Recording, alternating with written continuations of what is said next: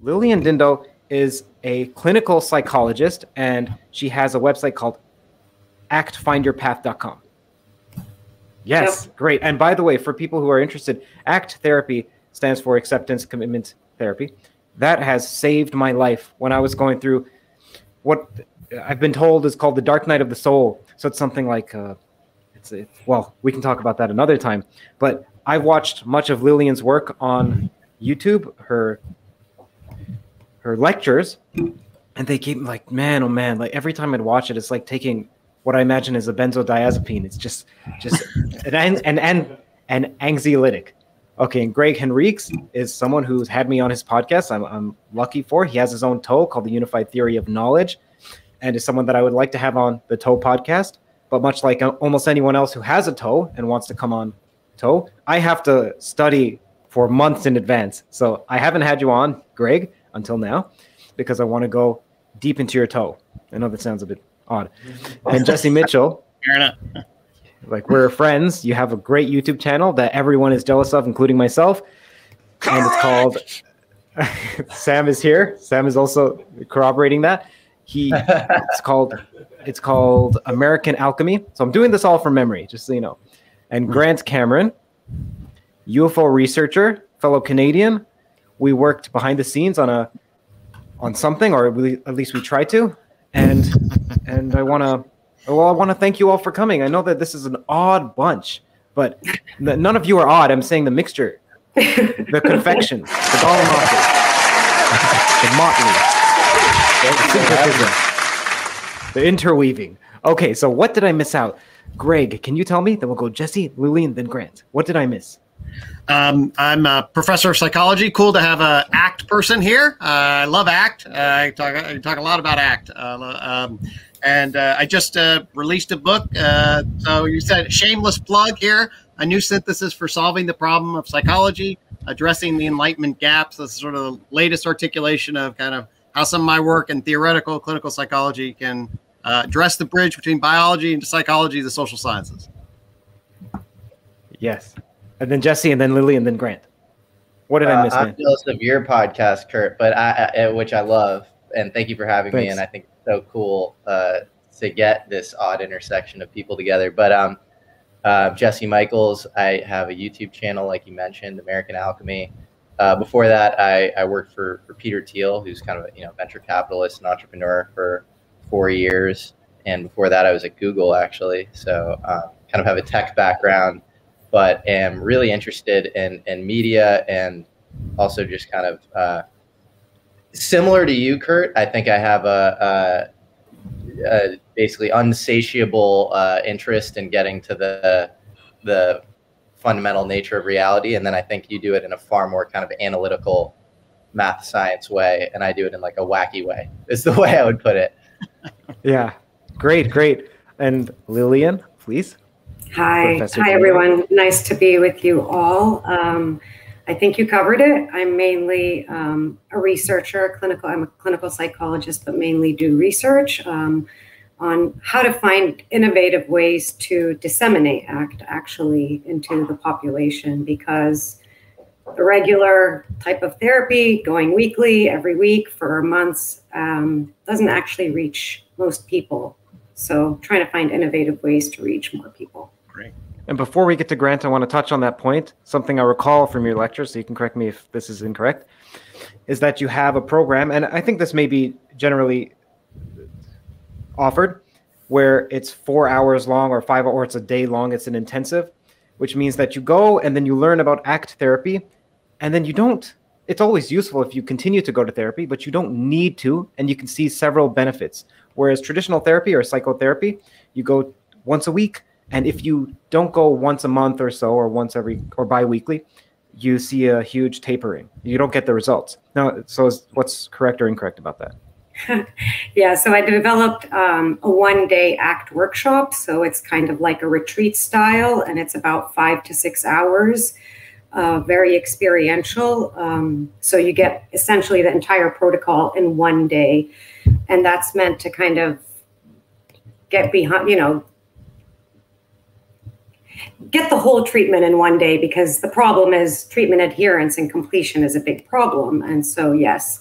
And we've done multiple studies that are funded by NIH and the VA that have found that actually this one day intervention is effective at reducing depression, improving anxiety, functioning, quality of life, so on. So, um, some people do need boosters. I need a booster myself all the time.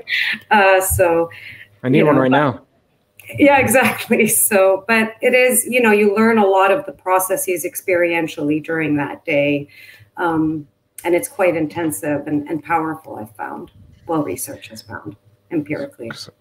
Grant Cameron, what did I miss out in your introduction, man?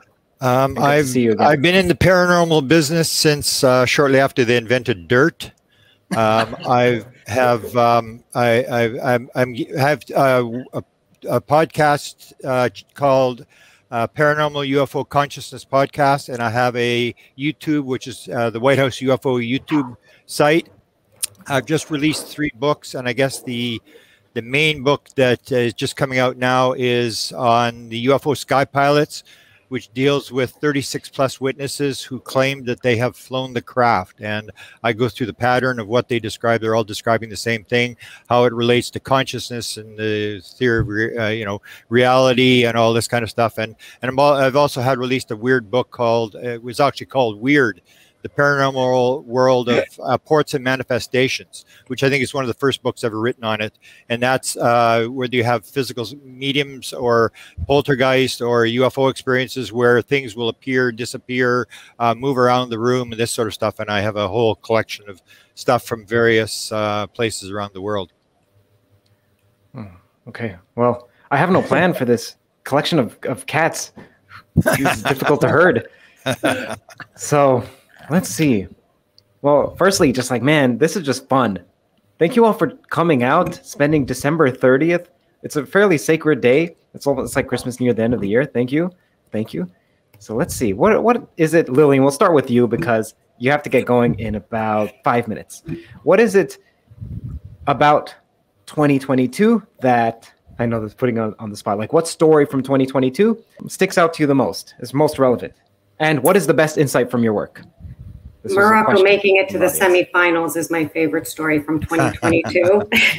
I'm surprised no one mentioned that once. The right, right. Um, what's your second question? Second question comes from the audience. "Quote unquote," the best insight from your work. The best insight from my work. Um, I think after years and years and years of doing this, I've come to recognize that like awareness is the most important first step to things. Like you have to be aware of your triggers. You have to be aware of your thought processes, the emotions of the moment. Like if you don't have that, that awareness first, then so much is on autopilot, I feel. Um, and so I've just come to realize this awareness idea is just so important. Um, you know, can I ask you a question about that if you don't mind? Of course. So what about if someone's issue that they're coming to act for is because they have too much self-awareness where they feel like I'm constantly thinking about consciousness and I feel like I'm almost having a psychotic break. So I'm speaking about my former self at least and somewhat my current self. And so to say, "Oh, I need more awareness." Like, no, no, no, awareness is hurting me right now, hurting me right now. Well, I think what, so what you're describing is more like rumination and obsessiveness actually. It's not so much true awareness in the way i'm thinking of it. I mean awareness is recognizing like okay i am going down a rabbit hole here. I am i am being obsessive now. I am ruminating now. Um, so it's actually more like developing an insight into where you get stuck and then um, where you get triggered and then so even know, being aware is, of where I'm so sorry to interrupt you. It's so difficult when it's over Zoom because I, I apologize. But what I was going to say is like, so in that case, you'd say being aware that what you're calling awareness is too much, like just being aware. It's almost like a meta awareness. Yeah, it's or definitely that, a meta awareness. Actually, it's like okay. stepping outside of yourself and recognizing, like, okay, like right now, I am ruminating. Like I'm in this, you know, phase of rumination, or I'm obsessing about this thing, and how does how does doing this move me forward in my life? You know, so it's step one is the awareness, and step two is is this is you know is being stuck on this thought process is being stuck on this um, you know what, whatever you're ruminating about is this moving me forward in my life? Or is it keeping me stuck? How does buying into a particular thought um, affect my behavior next? So I, would be interested in hearing what greg what you think about this too you're a psychologist yeah no certainly i mean uh, uh, I'm a big fan of ACT. I'll, I'll, certainly start there. I cultivate and training my uh, doc students awareness, acceptance, and change, uh, active change in relation. Uh, I built a thing called CALM MO, which is basically it merges ACT and what's called interpersonal neurobiology, uh, and certainly this capacity to step outside, become an observer in relationship to that, be able to accept where you are and then be committed to motivated, stop valued states of being and being able to reflect on that in a way that isn't reactive or defensive or brittle or rigid. That's a beautiful thing if you can learn how to do it. So uh, I'm all in support. I, I'm willing, I, would like to ask everyone before I leave to just think about something, if that's okay, Curt. You said we could just ask questions. So I'm going to ask. yeah, question. please, please do. Um, and I think I'm I'm going to do this just because it's the new year coming up and um, it's an act move. So let's do it. So I want everyone on here today just to imagine that it's 15 years from now. You know that it's 15 years from now and you've continued living your life exactly as you're living it right now. You don't make any changes.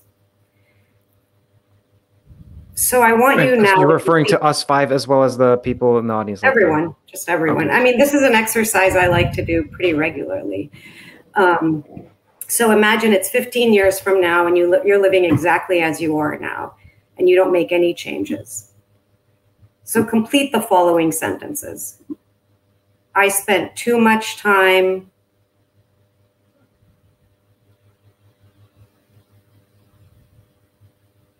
Mm-hmm.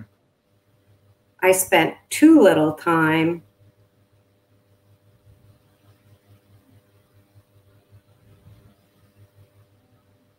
And if I could go back in time, what I would like to do differently is.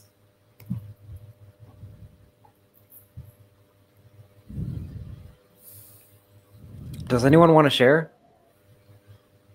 If you can briefly share, because Lilian, I know you have to get going in maybe three minutes. Can you stick around for three more minutes? Lilian? Okay, great. Who wants to share? Okay, I'll go. Um, basically, what it would come down to is you look at near death experiences. I'm sure I've learned from that is that I spend too much time down the rabbit hole, not enough time with family. And when it comes down to the last minutes of your life, what's most important is your family and the time you didn't spend with them. Yeah. So for me, I pictured, I always picture my wife whenever I think of exercises, whenever I have exercises like this. And I spend, I, I always prioritize her, but I, I could spend more time with her and definitely I could spend more time with family. So my mom and dad. And, and I feel like I work too much, though I love it. And interestingly enough, I feel like I would be more unhealthy. I love junk food. Like I love it, but I abstain from it. I abjure it. And I, and I feel like I can, I can indulge some more. But anyway, Jesse and Greg, if you don't mind, if you could be. Greg, you want to go? I, I Sure. I mean, uh, you know, I'm I love contact with the present moment, and I still get pulled away further than I do. Um, so I'm always looking to expand uh, the deep appreciation, the awe that I have for being in the world, um, and taking time for gratitude and awe in relationship to that. Uh, also, then connecting to that which I love um, which I'm fortunate to be able to do because I, you know, I have my work and I'm able to do that. Um, but being that and having gratitude for being that, I, am able to achieve some of that. Uh, I could always do more of that. I'm similar. I think I'm uh, way too kind of goal oriented or future oriented, rather. Like I live, I sort of sacrifice the present for the future a lot. And I don't sort of, you know, wake up and smell the roses and just enjoy myself and do kind of uh, spontaneous things on a whim, and uh, often the best things come from that kind of childlike instinct. And so I want to I want to indulge that more over the next 15 years. Lilian, thank right you. Answers? That was great. Yeah, were, were, did those were those correct? Were those okay? Were There's those no right? Do we get do we get points?